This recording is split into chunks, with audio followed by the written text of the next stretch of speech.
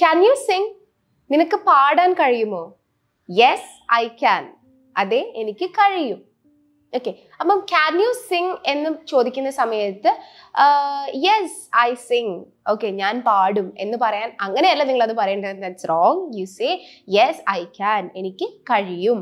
Okay now asking the next question and that is do you like ice cream നിനക്ക് ice cream ഇഷ്ടമാണോ? Okay ഇഷ്ടമാണോ എന്നാണ് ചോദിക്കുന്നത്. So do you like ice cream yes I do okay I like ice cream എന്ന് പറയുന്നതിനേക്കാൾ you can say yes I do അപ്പൊ നിങ്ങൾ ഇവിടെ നോക്കേണ്ടത് നമ്മൾ ക്വസ്റ്റനിൽ അതായത് ക്വസ്റ്റനിൽ ചോദിക്കുന്ന ഫസ്റ്റ് ഓക്സിലറി വേർബ് ഉണ്ടാവില്ല അത് അതെടുത്തിട്ടാണ് നമ്മൾ ആ ആൻസറിൽ കൊടുക്കുന്നത്. ഓക്കെ ഇപ്പൊ ഫസ്റ്റ് ക്വസ്റ്റൻ എന്ന് പറയുന്നത് ക്യാൻ യു സിംഗ് എന്നായിരുന്നു. And the answer is yes I can the next question was do you like ice cream yes I do okay now the next one is did you go to school നീ സ്കൂളിലേക്ക് പോയോ? That is a past question അല്ലെ നീ സ്കൂളിലേക്ക് പോയോ എന്നുള്ളത്. So did you go to school you would say yes I did okay അതെ ഞാൻ പോയി എന്നുള്ളത്. You can say yes I did എന്നുള്ളത്. ഐ ഗോ എന്ന് നമുക്ക് അവിടെ പറയാൻ പറ്റില്ല കേട്ടോ.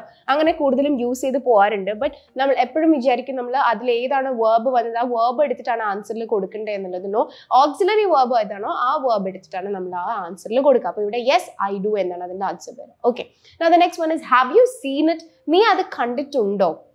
ഓക്കെ നീ അത് കണ്ടിട്ടുണ്ടോ എന്ന് ചോദിക്കുമ്പോൾ have you seen it is the question there and you say yes I have okay ഞാൻ അത് കണ്ടിട്ടുണ്ട് എന്നുള്ളത് you can say yes I have Okay, so these were some questions, and that how do you ask those questions in English, and how do you give the answer for all those questions? Okay, I hope this video was useful. To know more about the course details in English Cafe, please click the link in the description. Thank you.